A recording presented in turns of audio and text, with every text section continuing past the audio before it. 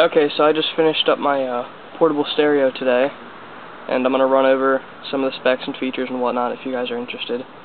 So it comes with a 10-inch uh, sub in the center uh, by Visionik. It's a 300 watts RMS. These are all car stereo parts, by the way. Um, on the sides are two uh, uh, 6x9 um, speakers. I think they're by Kenwood, and they're around like 90 watts RMS each.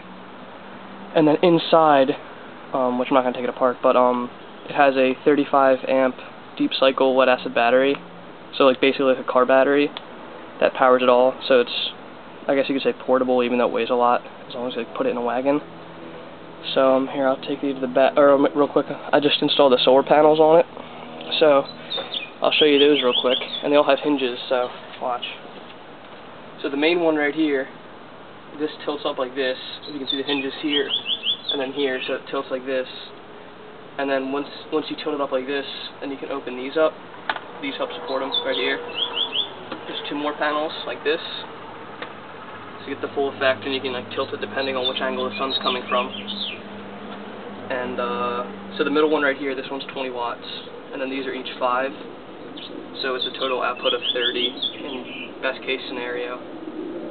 And uh, I'll show you the back real quick. Let me take this off the tripod.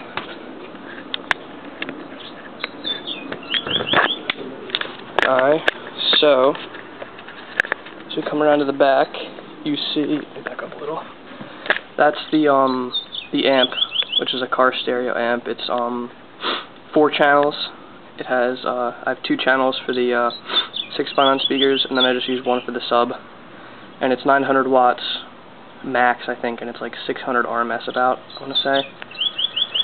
So down over here is a Sunforce 7 amp uh, battery charger. The glares there. Um, and this just ma basically makes sure that the solar panels don't overcharge the battery, and that during the night the battery doesn't try to put power back to the uh, solar panels. So it just helps keep the battery healthy. So then up underneath here, if I tilt these up, you can see try to back up a little. I have all the wiring. So you see I have the wire for this, and it runs along, and everything all meets up at one central point right here, and then comes down along here, and then down to the uh, charge controller. And the charge controller is hooked up right here. If you look at all the wires, I have these right. These ones right here are for the um. Those are for the 6x9 speakers. These two big clear ones right here, those that's for the battery. Um, this one right here is for the sub, and then these ones obviously are for the uh, charge controller. And uh, I built a little switch in. No, cool little lights. Alright, so I'll just show you real quick how it plays. My iPod.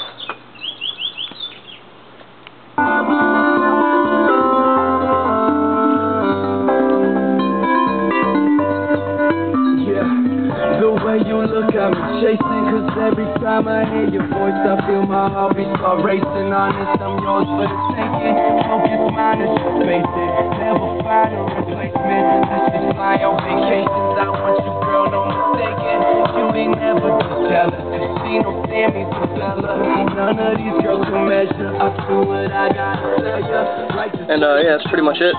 It just hooks in, if you see here, it just hooks in with a uh, standard 3.5 millimeter headphone jack. So I got it hooked up to my iPod. And that's pretty much it.